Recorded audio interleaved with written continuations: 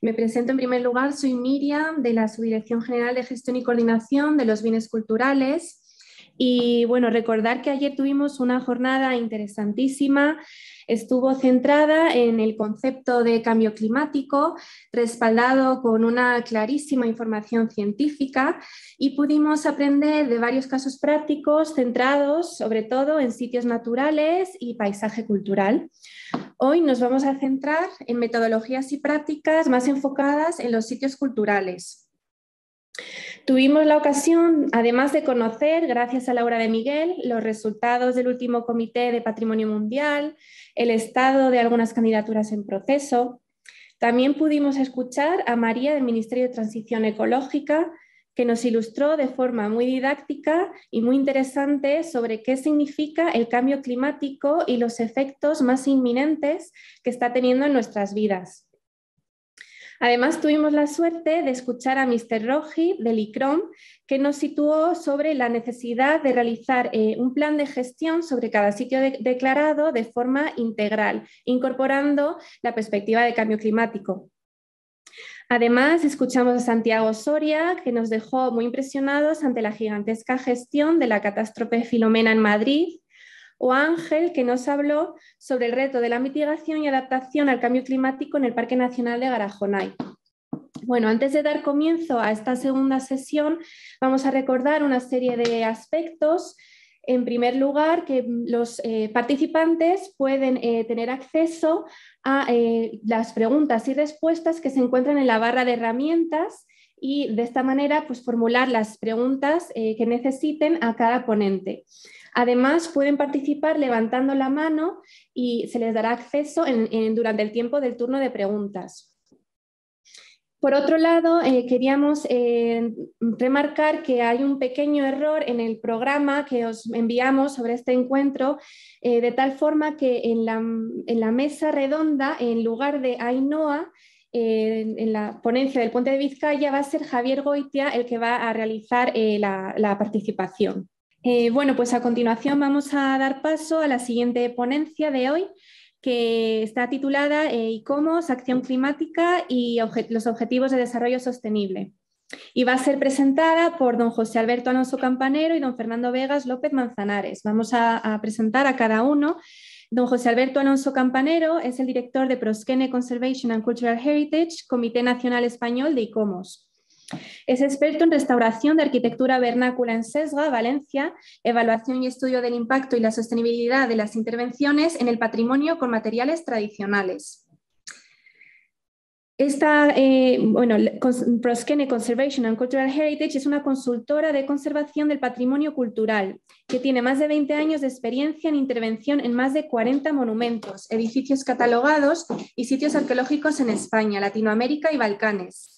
Es miembro de la Junta Directiva de ICOMOS España, encargado del grupo de ODS y Patrimonio, y ha coordinado el European Cultural Heritage Paper, documento conjunto de ICOMOS International y Europa Nostra, sobre los retos y oportunidades del patrimonio ante la descarbonización y el cambio climático. Por otro lado, don Fernando Vegas López Manzanares es catedrático de la Universidad Politécnica de Valencia y miembro asimismo de la Junta Directiva de ICOMOS España y del Grupo de Trabajo de Cambio Climático. Ha realizado obra de nueva planta inspirada en la filosofía y sostenibilidad de la arquitectura tradicional y proyectos de restauración para monumentos de pequeña y gran envergadura. Es director de la revista Logia y de la Cátedra UNESCO de Arquitectura de Tierra, Culturas Constructivas y Desarrollo Sostenible en España. Y ha recibido además una gran cantidad de premios nacionales e internacionales. Bueno, pues tras esta presentación doy paso a nuestros ponentes de hoy, don José Alberto y don Fernando Vegas, cuando queráis. Muchas gracias, Miriam. Muchas gracias, eh, Laura. Y en nombre del Comité Español de ICOMOS, muchas gracias al Ministerio de Cultura por eh, la invitación a este encuentro de gestores. No sé si podéis compartir mi presentación. Ah, perfecto. Muchas gracias. Bueno, pues como decía eh, Miriam, nuestra presentación de hoy trata de las actividades que desarrolla ICOMOS en el ámbito del cambio climático y los objetivos de desarrollo sostenible de Naciones Unidas. Entonces, por ir rápidamente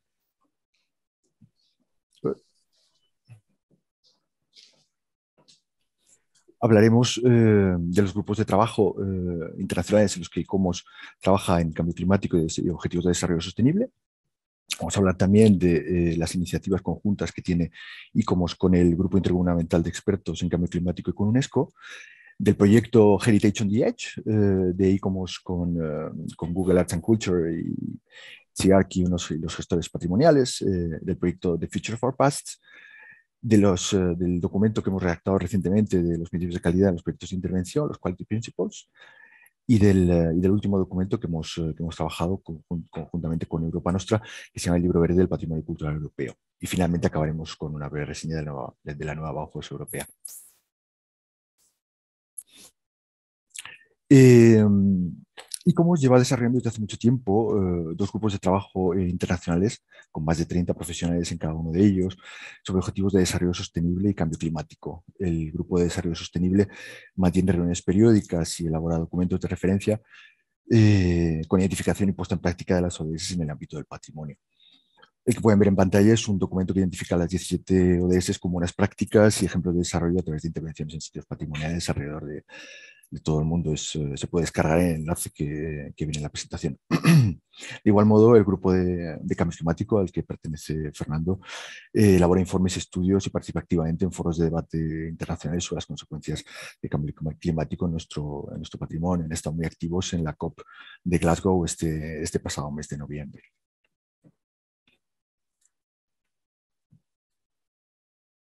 Han redactado también eh, libros blancos para evaluar el estado de conocimiento y la práctica entre la cultura y el, cambio climático. Uh, me pasa la presentación. Ahora. Eh, el grupo de ICOMOS de Cambio Climático participa en la iniciativa conjunta con el IPCC, que es el panel intergubernamental de expertos en cambio climático y la UNESCO eh, denominada Cultural Heritage and Climate Change. Las actividades que se desarrollan son, entre otras, organizar reuniones internacionales acerca del patrimonio cultural y el cambio climático, la, la reacción de libros blancos para evaluar el estado del conocimiento y la práctica entre cultura y cambio climático. Desarrollan recomendaciones de políticas públicas para incluir en la cultura en la, la cultura en la agenda climática también. El proyecto Heritage on the Edge es un, proyecto eh, muy conocido y que bueno, pues yo recomiendo claramente que echen un, vistazo a, la página y es otra iniciativa participada por ICOMOS eh, acerca de cómo las personas están protegiendo su patrimonio contra la emergencia climática, en colaboración con Google Arts and Culture, eh, CIARC, una organización sin ánimo de lucro dedicada a la digitalización, archivo y difusión de bienes culturales, y los gestores locales de cada uno de los sitios. ¿no?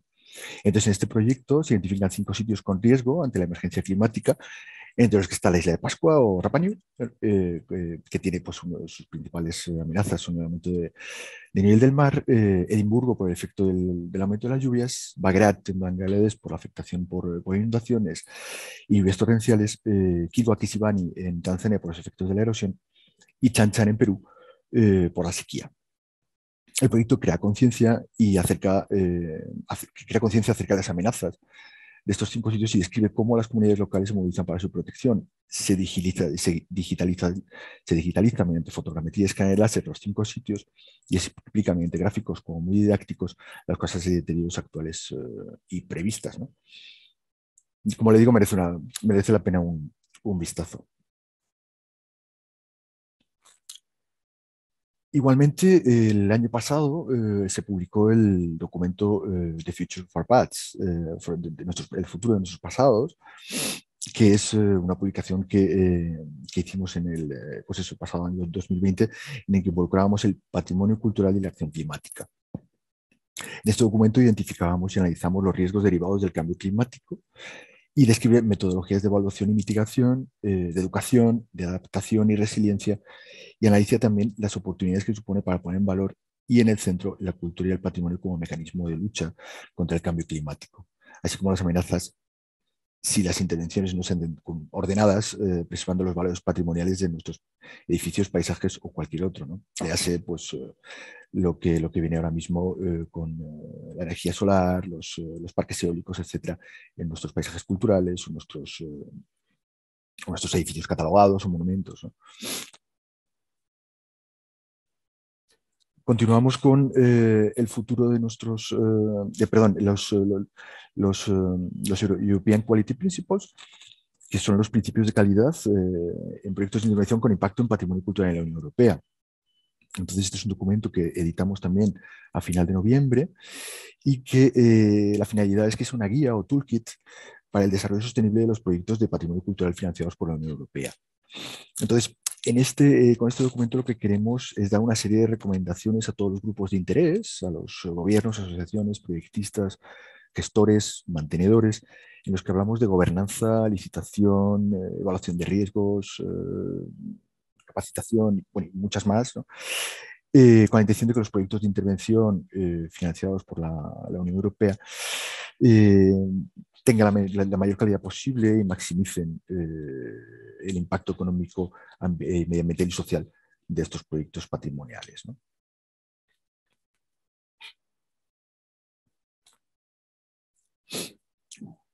Otra iniciativa que hemos llevado en esta, en esta línea de, cambio climático y ODS es, el, libro verde del patrimonio cultural europeo, eh, recién, recién publicado igualmente y descargable a través de la web.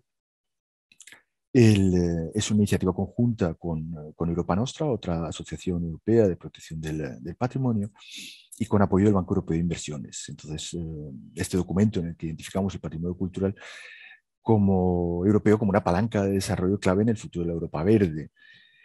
Eh, va dirigido igualmente a todos los grupos de interés que intervienen en la gestión del patrimonio cultural, gobiernos, operadores, organizaciones del tercer sector, profesionales académicos, y pretende ser una herramienta de trabajo para el diseño de políticas y acciones eh, transformadoras que incluyan la cultura en la agenda de la descarbonización basado en las 10 palancas de desarrollo hacia la transformación de la economía europea. Eh, el libro verde, en, este libro verde incluimos recomendaciones para policymakers, o sea, los, formuladores de políticas públicas, y para los operadores del patrimonio cultural, incluyendo también casos de éxito eh, en Europa para que sirva un poco como, ejemplo de, eh, cómo el patrimonio cultural puede ser un motor y un, actor principal en, la lucha contra la descarbonización o contra el cambio climático.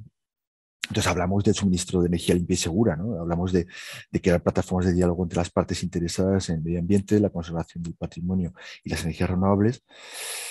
Uno de los mayores retos, como decía antes, es integrar las energías renovables en nuestras ciudades históricas y paisajes culturales. ¿no? Hablamos, ponemos casos de estudio de eh, instalación de parques de turbinas eólicas en Escocia, en, en, paisajes eh, pues, afectados paisajes culturales. Entonces, bueno, pues las eh, conversaciones o los diálogos entre las distintas administraciones y actores pues favorecen eh, que, se puedan combinar las dos, eh, las dos la inserción de estas energías limpias en patrimonios culturales sin afectar los valores de estos hablamos de economía circular y su poder como impulsor de políticas de empleo.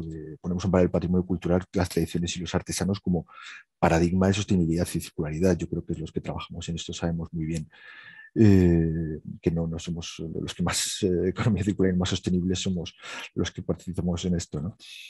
construir y renovar de manera eficiente en cuanto a energía y recursos, de cómo es fundamental seguir trabajando en la renovación de nuestros edificios catalogados y monumentos de la manera pero más eficiente posible para no poner en riesgo sus valores patrimoniales. Tenemos que seguir investigando las maneras más eficientes de hacerlo. Hablamos también de acelerar el cambio hacia la movilidad inteligente y sostenible de la reducción de la congestión y contaminación en áreas urbanas, minimizando en lo posible la, entrada de vehículos privados, los casos de éxito de ciudades históricas que, eh, bueno, pues que han sacado el vehículo privado de, dentro y bueno, pues un paradigma de, ecología y de, bienestar de los destinos culturales, de los destinos patrimonio cultural, como modelos ejemplos para, para, estrategias de educación a visitantes en modos de vida más saludables de las iniciativas, eh, de esta iniciativa que se llama de la granja mesa, que es un sistema alimentario justo, saludable y respetuoso con el medio ambiente. El Pacto Verde tiene como objetivo hacer la alimentación europea el estándar mundial para la sostenibilidad y hablamos precisamente de eso, de poner en valor el patrimonio agrícola, gastronómico y alimentario europeo. El conocimiento de las tradiciones y la cultura y su réplica en negocios y emprendimientos para las nuevas generaciones. Hay mucho camino por recorrer por ahí. Hablamos también de perseguir inversiones y las finanzas verdes y garantizar una transición justa. Hablamos de, que hay eh, de fomentar estrategias de financiación verde de bancos y de gobiernos eh, para, facilitar eh, emprendimientos, emprendimientos basados en la cultura. poner en valor el patrimonio artesanal y los medios de vida tradicionales Y, bueno, pues al fin y al cabo poner en valor los, beneficios de la conservación del patrimonio con productos financieros sostenibles y bonos verdes. En el, ya empiezan en, Europa ya existen los bonos verdes y en España hay ya ciertas iniciativas al respecto.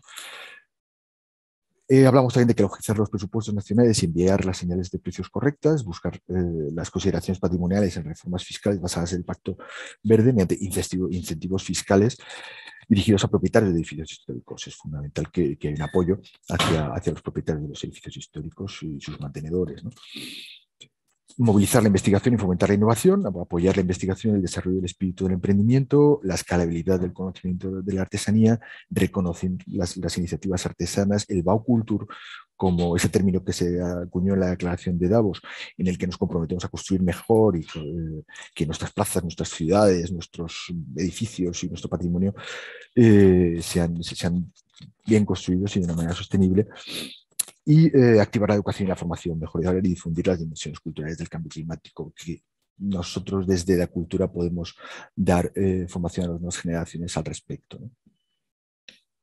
Al fin y al cabo, generar conciencia, generar conciencia, incluso generar eh, premios y sellos de patrimonio que pongan en valor y den voz a, los, a los que se preocupan por la, por la puesta en valor de nuestro patrimonio. Y finalmente, eh, rápidamente, eh, somos eh, partners o socios de la New European Bauhaus, que es una iniciativa de la Comisión Europea que tiene la intención de acercar el Pacto Verde Europeo, este Green Deal tan, tan sonado, del cual estamos hablando todos ahora, para acercarlo a los ciudadanos y las ciudades, mejorando la calidad de vida de todos. Y como forma parte activa de estas, como socio de la iniciativa, poniendo en valor el potencial de patrimonio cultural como una palanca de desarrollo sostenible de nuestras ciudades futuras. Y bueno, esto es eh, una breve síntesis de las iniciativas en las que estamos trabajando en ICOMOS en relación con el desarrollo sostenible y cambio climático. Eh, quedamos, por supuesto, a disposición de todo el que lo necesite para cualquier consulta, aclaración o apoyo en lo que haga falta. Vale. Miriam, no sé si quieres dar tu paso a Fernando o...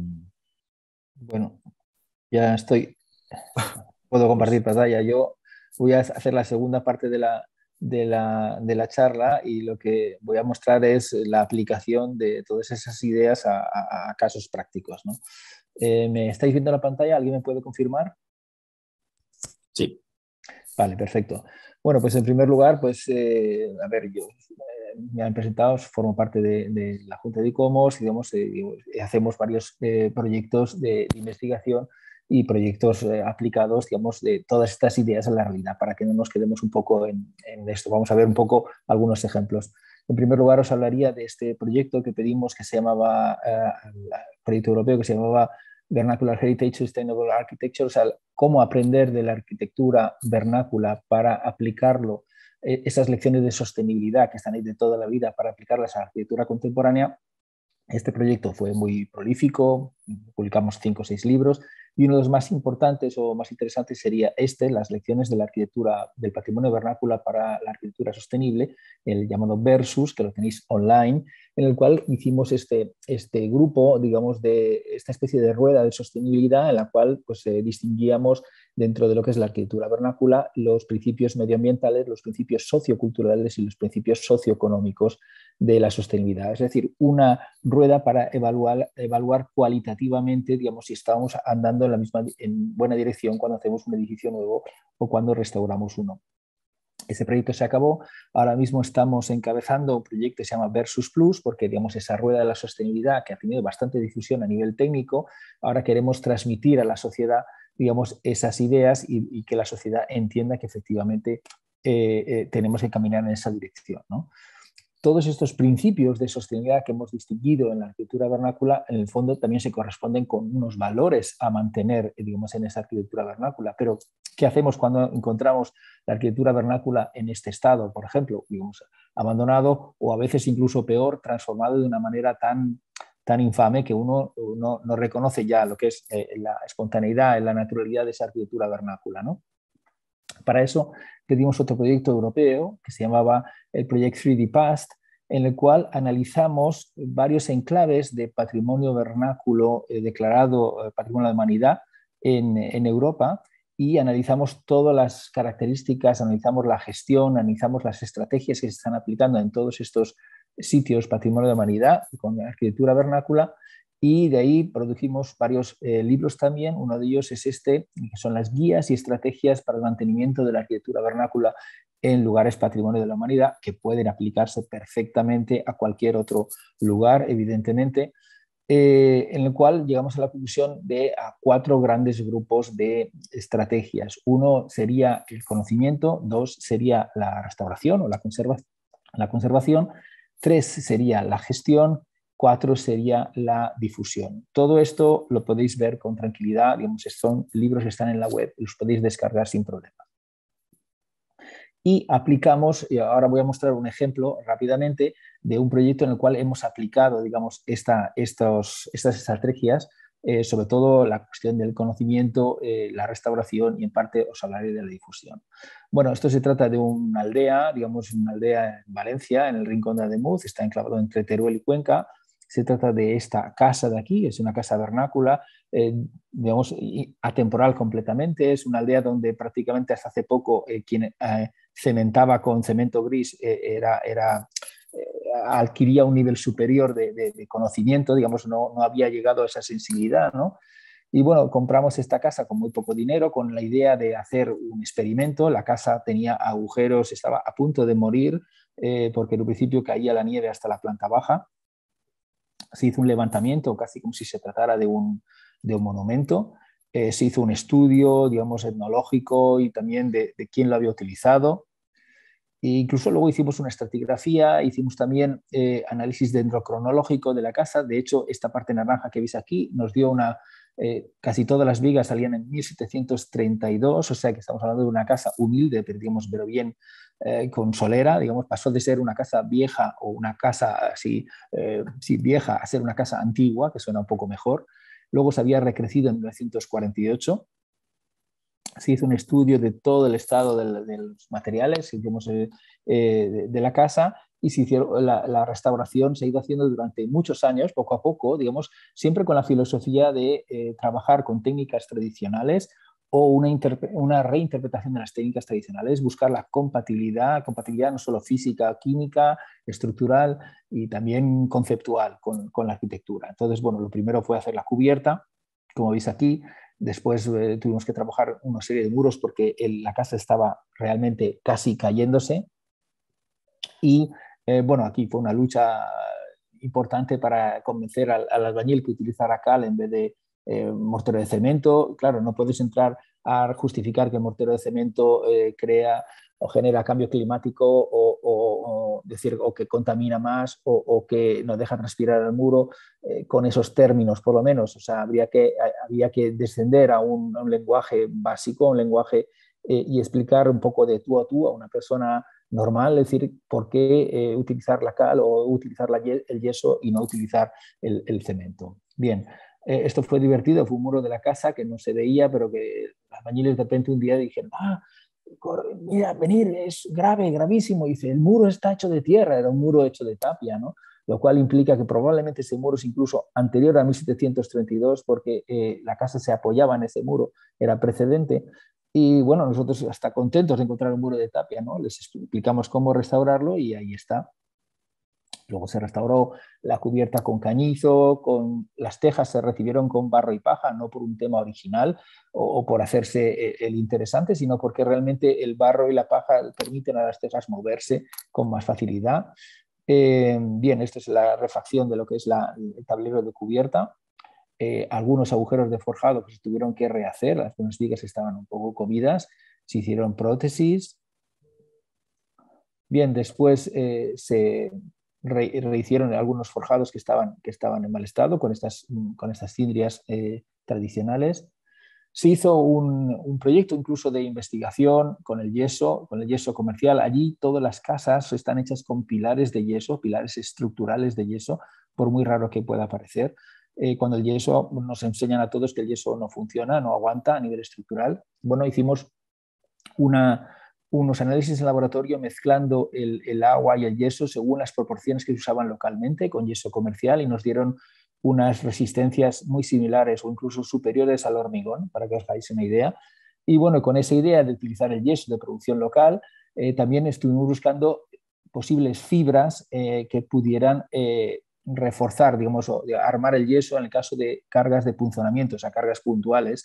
Y bueno, para eso utilizamos las fibras que podíamos ver asomándonos por la ventana en la casa. Bueno, vimos corcho, vimos una oveja pasando, lana, paja, estuvimos utilizando cáñamo, utilizamos muchas fibras y, y, llegamos a la conclusión de cuáles eran las más efectivas eh, y con fibras naturales y con materiales todo kilómetro cero, pues hicimos los refuerzos del forjado, refuerzos estructurales del forjado, que ahora mismo no cuento en detalle porque no tendría tiempo. Bueno, aquí veis el proceso de la casa. Esto que estáis viendo, lo que estáis viendo ya no es el refuerzo, sino el pavimento, que sería un pavimento hecho con yeso encerado, que también típico, era típico de muchas partes del interior de España.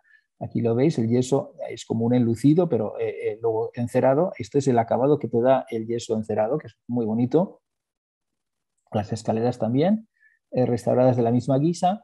La planta baja lo que hicimos es hacer una capa de corcho natural, digamos, y luego una, una solera de hormigón de cal.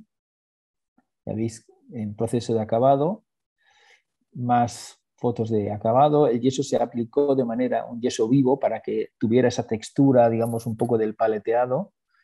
Luego todas las carpinterías se restauraron, se, hicieron prótesis. Esta es una carpintería nueva, pero hecha imitando lo que son las carpinterías antiguas que hay en la zona. Esto ya es la carpintería colocada, la nueva, digamos, donde no había ventanas anteriormente a la izquierda veis la casa antes de empezar a trabajar, a la derecha ya empezamos a ver como una serie de, refuerzos, estas son ventanas fijas que sirven también como de acodalamiento y ya veis por dentro cómo iba tomando forma, digamos, esas ventanas triangulares, la cocina, todo realizado en yeso con materiales, digamos, el material local, esta es la cocina acabada. Aquí veis eh, más imágenes de la cocina, del, del estar, el proceso de restauración fue extraordinariamente económico, estamos hablando de menos de la mitad de lo que puede costar una restauración, a lo mejor en una ciudad como Valencia, eh, o incluso en los pueblos, si aplicas con materiales industriales, esto eran todo materiales naturales, ¿no? Bueno, esta es la casa, vemos eh, actualmente. Y lo más interesante es que durante todo ese proceso hemos medido, digamos, eh, el coste de la restauración en comparación con el coste de, una, eh, de un edificio de nueva planta, porque siempre se dice, ah, no, esto cuesta mucho más, la restauración cuesta mucho más dinero, etcétera.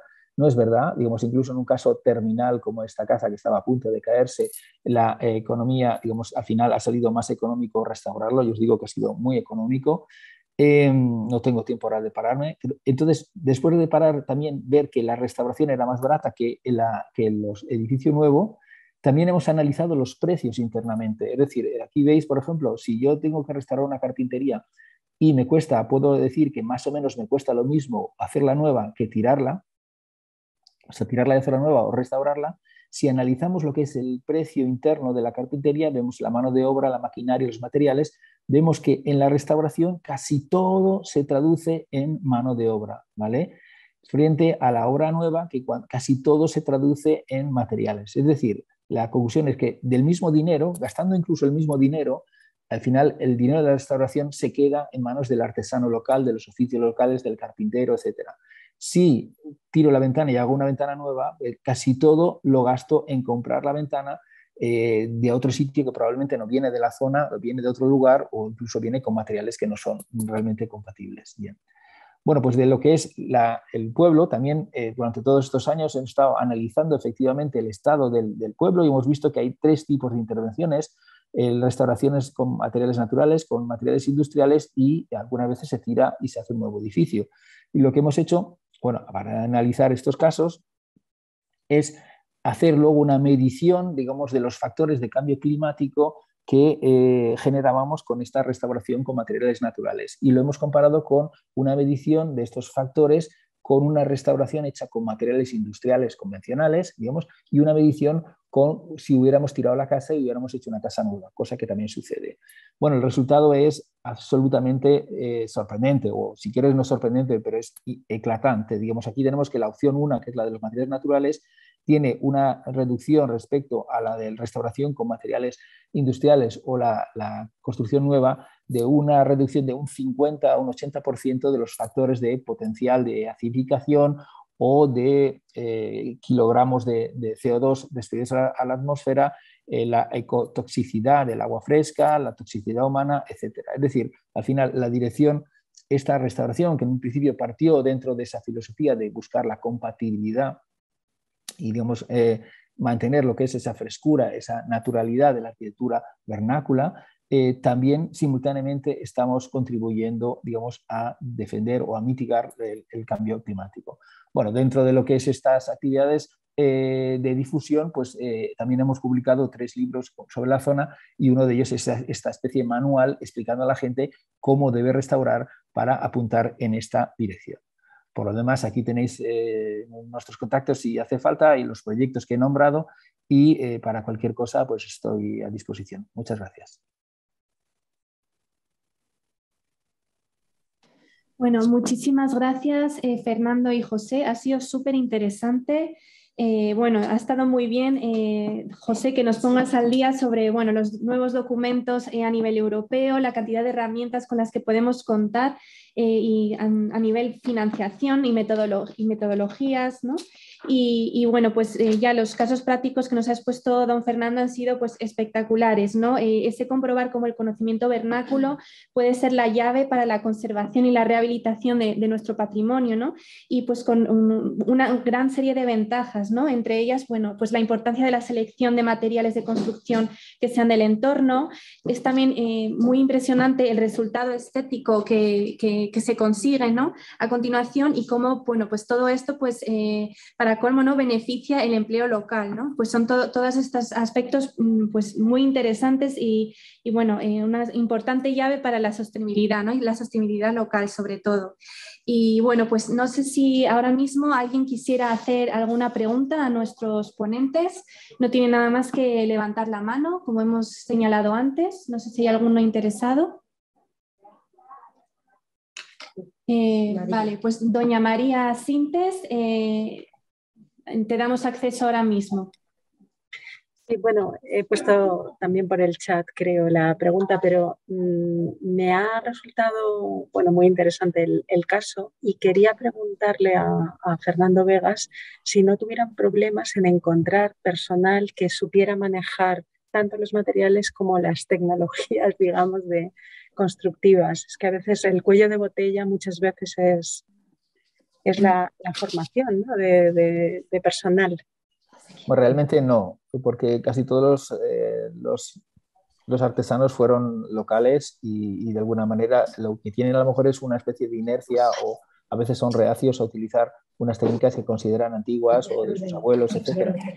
Y hay veces que hay que también reenseñar a esta gente, pero que lo tiene en la sangre. Al final son técnicas bastante sencillas, no estamos hablando de grandes tecnologías, simplemente mm, son técnicas eh, muy, muy básicas, es decir, que casi volver al origen va a ser un poco la clave de nuestro futuro, o sea, creo yo, es decir, que no es que estamos hablando de volver a vivir en una cueva, toda esa, esa casa que os enseñaba tiene todas las, tiene todos los estándares actuales de, de, vivienda, pero, pero de alguna manera eh, con materiales muy naturales, con materiales con poco proceso, con materiales que prácticamente no despiden, digamos, eh, CO2 o, digamos, que son muy básicos ¿no? a nivel de, de, proceso, de elaboración, etc.